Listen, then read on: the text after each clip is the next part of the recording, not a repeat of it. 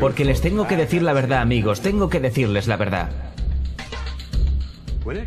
Cuando se trata de tonterías, tonterías enormes con letras mayúsculas, tienes que sorprenderte del campeón de todos los tiempos, de falsas promesas y reclamos exagerados. La religión. Piénsalo, la religión ha convencido a la gente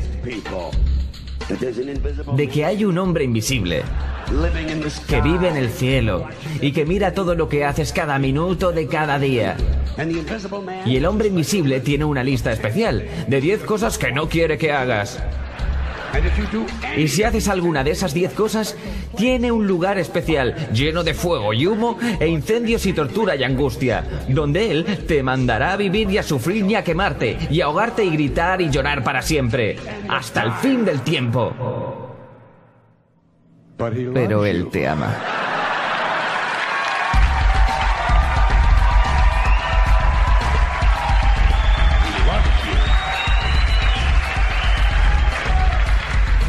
Te ama y necesita tu dinero. Él siempre necesita dinero. Es tan poderoso, tan perfecto, que todo lo sabe.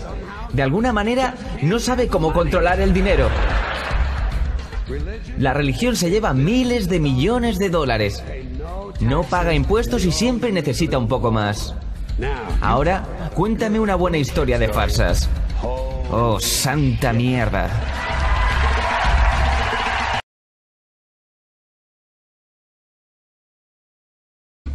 Este es el Sol. Hace unos 10.000 años antes de Cristo, la historia abunda de grabados y escrituras reflejando el respeto de los pueblos y la adoración por este objeto. Y es simple entender por qué.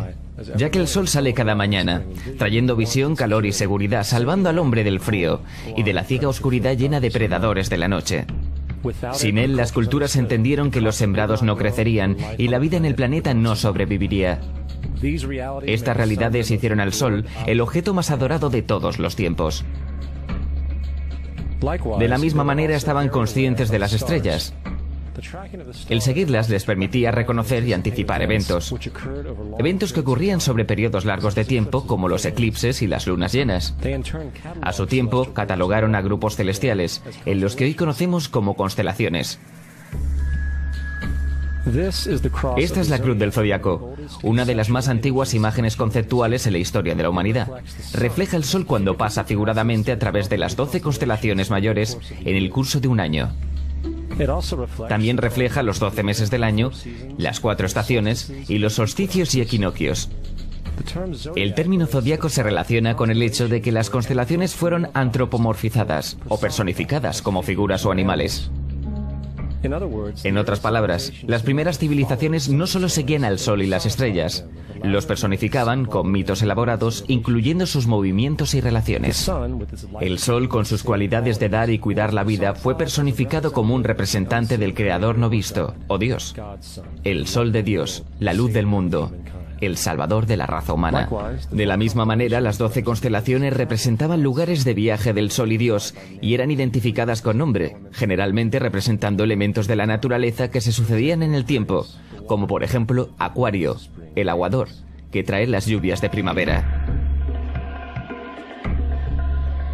Este es Horus, es el dios del sol de Egipto alrededor de 3.000 años antes de Cristo. Él es el sol antropomorfizado y su vida es una serie de mitos alegóricos relacionados con el movimiento del sol en el cielo. Desde los viejos jeroglíficos en Egipto sabemos mucho sobre este mesías solar. Por ejemplo, Horus, siendo el sol o la luz, tenía un enemigo conocido como Set, y Set era la personificación de la oscuridad o la noche. Y hablando metafóricamente, cada mañana Horus le ganaba la batalla a Set mientras en el atardecer Set conquistaba a Horus y lo mandaba al bajo mundo. Es importante notar que oscuridad versus luz o bien versus mal es una de las dualidades mitológicas más extendidas que se conocen. Y aún se expresan en varios niveles hasta la fecha. En líneas generales, la historia de Horus es la siguiente.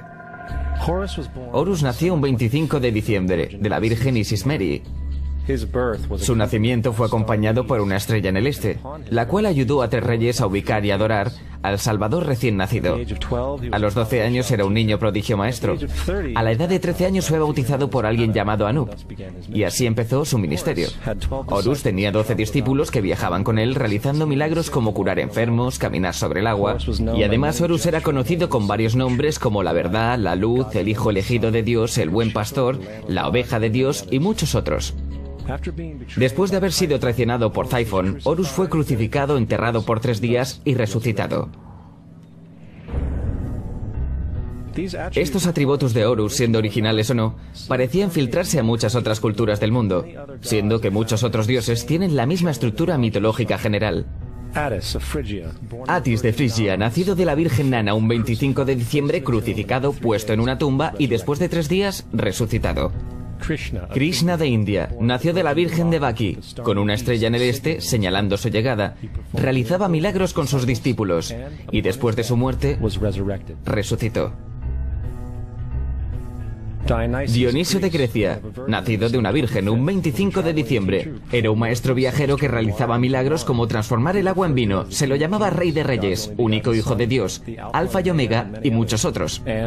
Y luego, después de morir, resucitó. Mithra de Persia, nacida de una virgen un 25 de diciembre. Tenía 12 discípulos y realizaba milagros y después de morir fue enterrada por tres días y resucitó. También se le llamaba la verdad, la luz y otras muchas. Es notable que el día sagrado para adorar a Mithra era el domingo. El hecho es que hay numerosos salvadores de diferentes periodos de todo el mundo que concuerdan con estas características generales. La pregunta permanece, ¿por qué estos atributos? ¿Por qué el nacimiento de una virgen el 25 de diciembre? ¿Por qué muerto por tres días? ¿Y su resurrección? ¿Por qué doce discípulos? Para saber más, examinemos el más reciente de los Mesías solares. Y lo haremos muy rápidamente. Jesucristo nació de la Virgen María un 25 de diciembre en Belén. Su nacimiento fue anunciado por una estrella del este, la cual tres reyes siguieron para ubicar y adorar a su nuevo Salvador. Fue maestro a los 12 años, a los 30 fue bautizado por Juan el Bautista y ahí comenzó su ministerio. Jesús tenía doce discípulos que viajaban con él y realizaban milagros como curar a enfermos, caminar sobre el agua, levantar muertos. También era conocido como Rey de Reyes, el Hijo de Dios, la Luz del Mundo, Alfa y Omega, la Oveja de Dios y muchos otros. Después de ser traicionado por Judas y vendido por 30 piezas de plata, fue crucificado, puesto en una tumba y después de tres días resucitó y ascendió al cielo.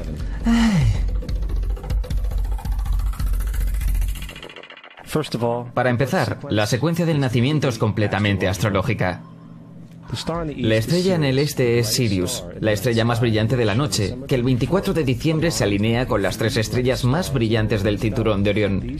Estas tres estrellas se llaman hoy como se llamaban en la antigüedad, los tres reyes.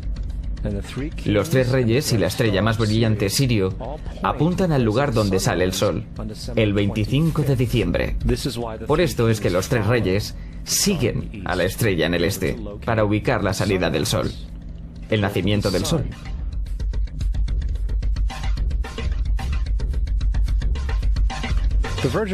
La Virgen María es la constelación de Virgo, también conocida como la Virgen.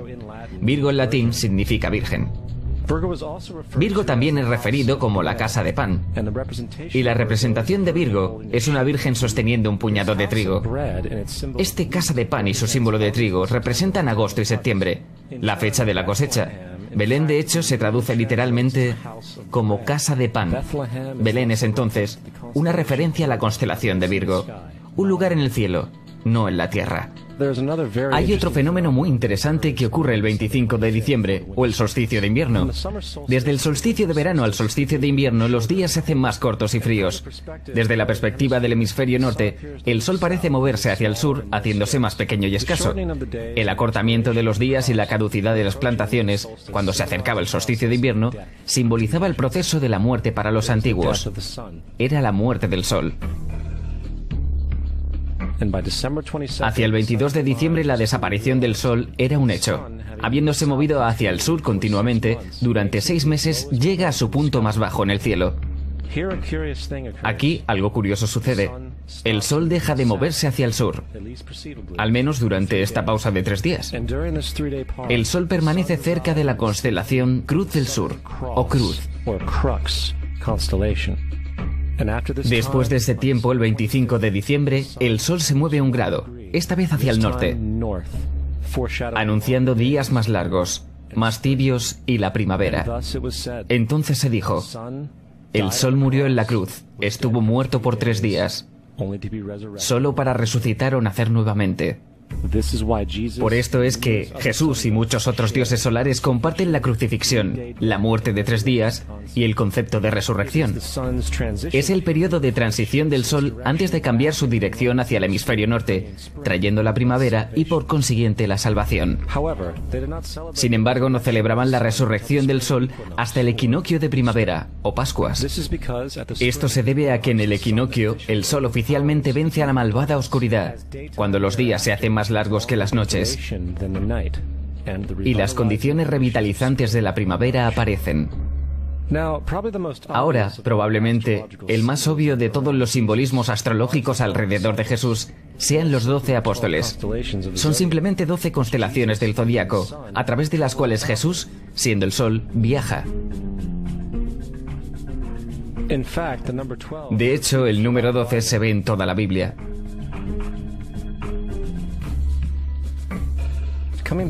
Volviendo a la cruz del zodiaco, la vida figurativa del sol, esto no era solo una expresión artística o herramienta para seguir los movimientos del sol, era también un símbolo espiritual pagano, que resumido, se veía algo parecido a esto. Esto no es un símbolo de la cristiandad, es una adaptación pagana, una adaptación de la cruz del zodiaco.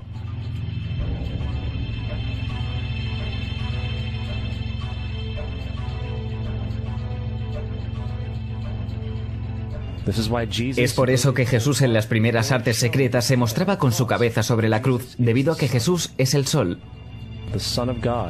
El sol de Dios, la luz del mundo, el Salvador levantado, el que vendrá nuevamente como lo hace cada mañana, la gloria de Dios que defiende el mundo de la oscuridad, el que nace nuevamente cada mañana y puede verse viniendo entre las nubes, alto en el cielo, con su corona de espinas o rayos solares.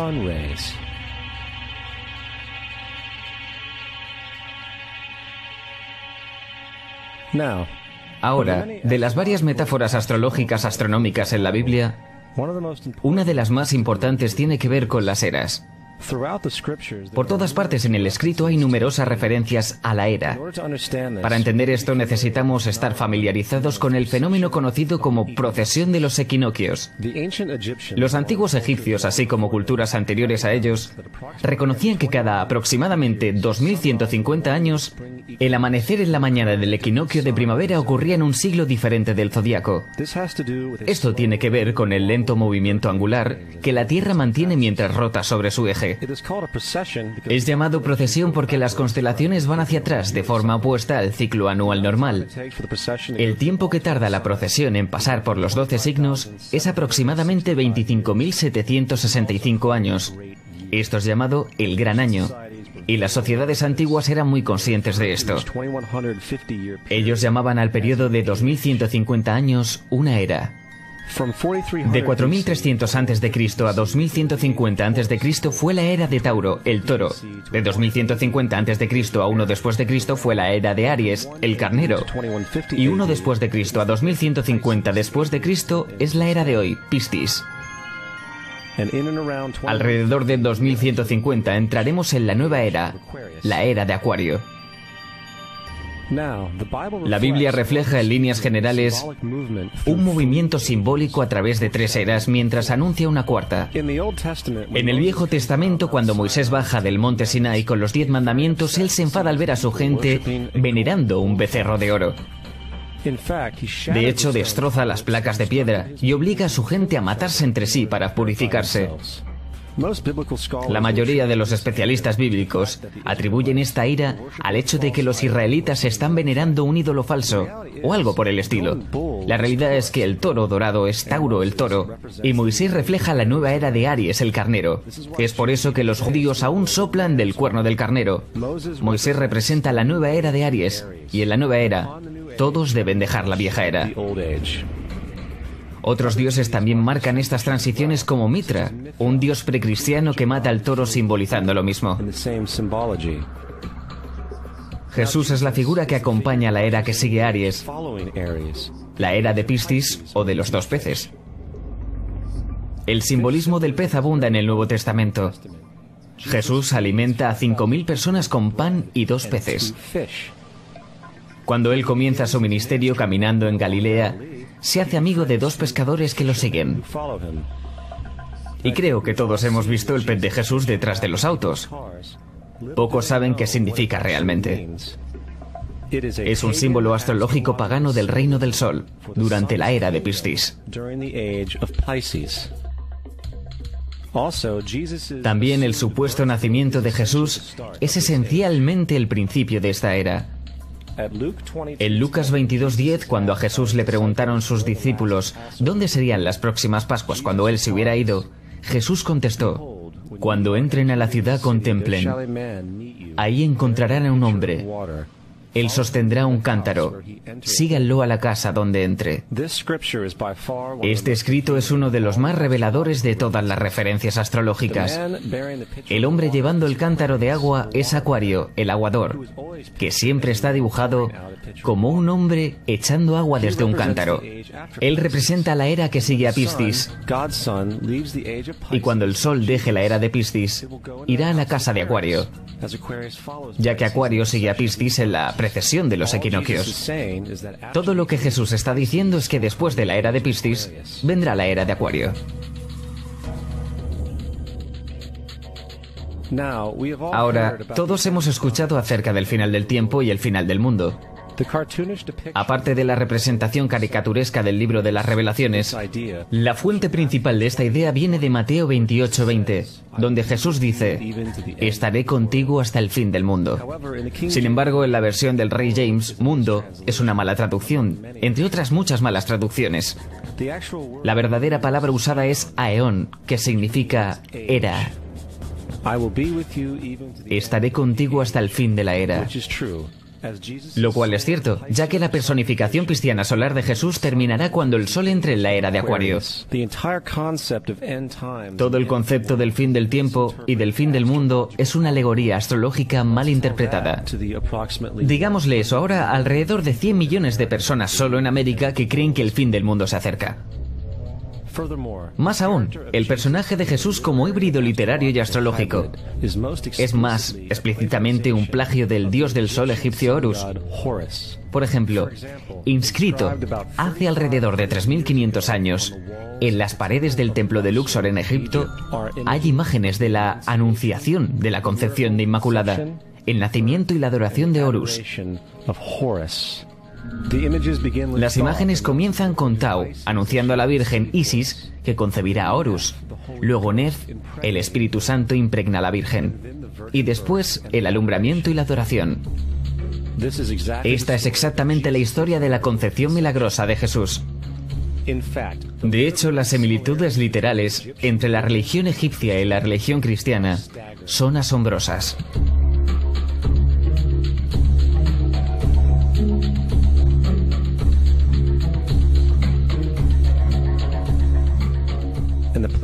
El plagio es continuo. La historia de Noé y el arca de Noé está tomada directamente de la tradición. El concepto de la gran inundación es común a través del mundo antiguo, con más de 200 declaraciones diferentes citadas en distintos periodos y etapas. Sin embargo, no se necesita demasiado para encontrar una fuente precristiana en la épica de Gilgamesh escrita en 2600 a.C. Esta historia habla de una gran inundación mandada por Dios, un arca que salvó animales, e incluso el envío y retorno de una paloma, todos comunes con la historia bíblica, junto con muchas otras similitudes. Y también la historia plagiada de Moisés. Cuando Moisés nació, se dijo que fue puesto en un canasto y dejado flotando en un río. Todo eso para evitar el infanticidio. Más tarde fue rescatado por una hija de la realeza y criado por ella como un príncipe.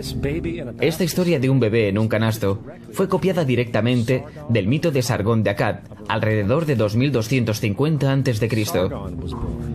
Sargón nació, fue puesto en un canasto para evitar el infanticidio y fue dejado flotando en un río.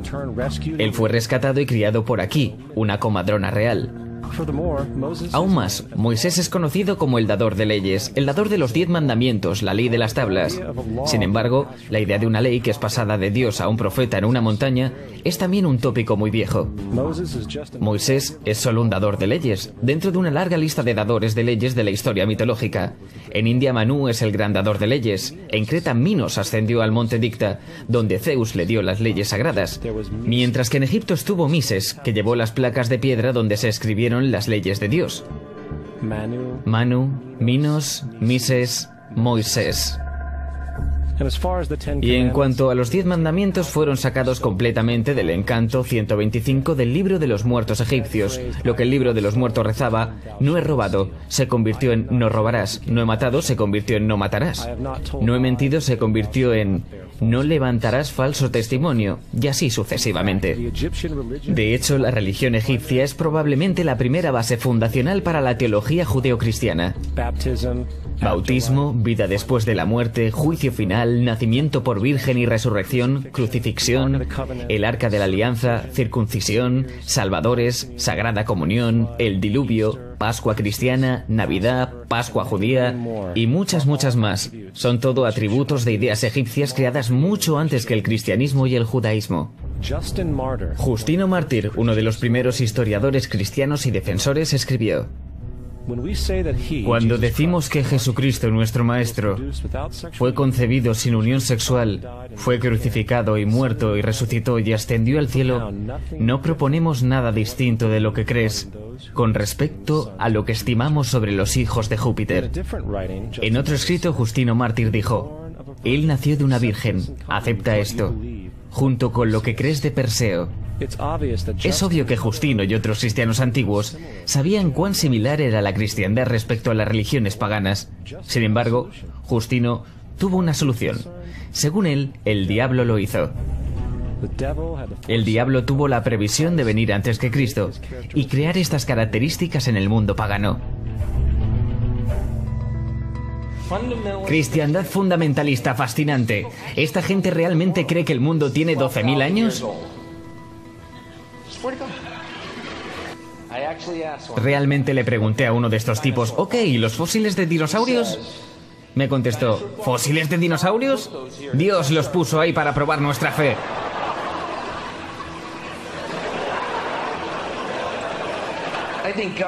Creo que Dios te puso aquí para probar mi fe, amigo. ¿Cuál es el camino del arca? La Biblia no es nada más que un híbrido literario astroteológico, como casi todos los mitos religiosos anteriores. De hecho, el tema de transferencia de atributos de un personaje a un nuevo personaje se pueden encontrar dentro del libro mismo. En el Viejo Testamento está la historia de José. José fue un prototipo de Jesús. José tuvo un nacimiento milagroso. Jesús tuvo un nacimiento milagroso. José tenía doce hermanos. Jesús tenía doce discípulos. José fue vendido por 20 piezas de plata. Jesús fue vendido por 30 piezas de plata. El hermano Judas sugirió la venta de José. El discípulo Judas sugirió la venta de Jesús. José comenzó su trabajo a la edad de 30 años. Jesús comenzó su trabajo a los 30 años. Los paralelismos siguen y siguen. Es más, ¿hay alguna referencia histórica no bíblica de alguna persona viviendo con el nombre Jesús, el hijo de María, que viajaba con 12 seguidores curando gente y demás? Hay numerosos historiadores que vivieron en alrededores del Mediterráneo durante o después de la supuesta vida de Jesús. ¿Cuántos historiadores documentan esta figura? Ninguno. Sin embargo, para ser justos no significa que defensores del Jesús histórico no hayan sostenido lo contrario. Cuatro historiadores son citados típicamente para justificar su existencia. Plinio el Joven, Sustenius y Tácito son los primeros tres. Cada una de sus citas consisten solo en unas pocas oraciones y solo se refieren al Christius o al Cristo, que de hecho no es un nombre, sino un título. Significa el elegido. La cuarta fuente es Josephus y ha sido probada ser una falsificación cientos de años. Tristemente, aún hoy es citada como cierta. Es de suponer que un tipo que se levantó entre los muertos y ascendió al cielo delante de todo el mundo y realizó la cantidad de milagros que se le atribuyen hubiera permanecido en el registro histórico. No lo hizo porque una vez que la evidencia es sopesada, hay una probabilidad muy alta que la figura conocida como Jesús no haya existido nunca. La religión cristiana es una parodia sobre la adoración al sol, en la cual pusieron a un hombre llamado Cristo en lugar del sol, y lo adoran como originalmente adoraron al sol. Thomas Paine. No queremos ser crueles, pero queremos ser objetivos. No queremos causar sentimientos dolorosos, pero queremos ser académicamente correctos en lo que entendemos y que sabemos que es cierto. La cristiandad no está basada en verdades encontramos que la cristiandad fue de hecho nada más que una historia romana, desarrollada políticamente. La realidad es, Jesús fue una deidad solar de la secta cristiana agnóstica y como todos los otros dioses paganos, era una figura mítica. Fue el sistema político que buscó crear la figura de Jesús para tener control social. Por el 325 después de Cristo en Roma, el emperador Constantino convocó al Consejo de Nicea. Fue durante esta reunión que las políticamente motivadas doctrinas cristianas fueron establecidas y donde empezó la larga historia de derramamiento de sangre y fraude espiritual. Y por los siguientes 1600 años, el Vaticano mantuvo un control político sobre toda Europa, conduciendo a periodos felices como la Edad Oscura junto con iluminados eventos como las Cruzadas y la Inquisición.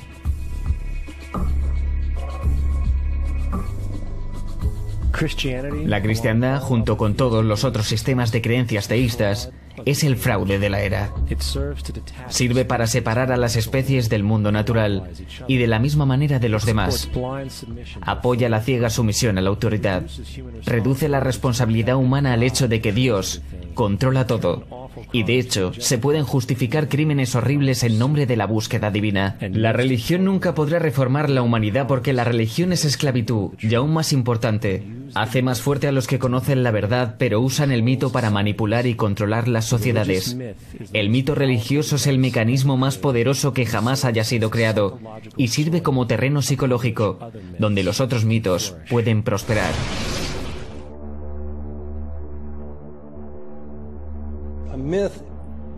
Un mito es una idea que, aun siendo popularmente creída, es falsa. En un sentido más profundo, en el sentido religioso, el mito sirve como una historia que orienta y conmueve a la gente. El foco del mito no es la relación de la historia con la realidad, sino con su función. Una historia no puede funcionar a menos que sea creída como cierta, por la comunidad o por la nación. No es tema de debate que algunos tengan el mal gusto de cuestionar la veracidad de tal historia sagrada. Los cuidadores de la fe no entran en debate con ellos. Ellos los ignoran o denuncian como blasfemos.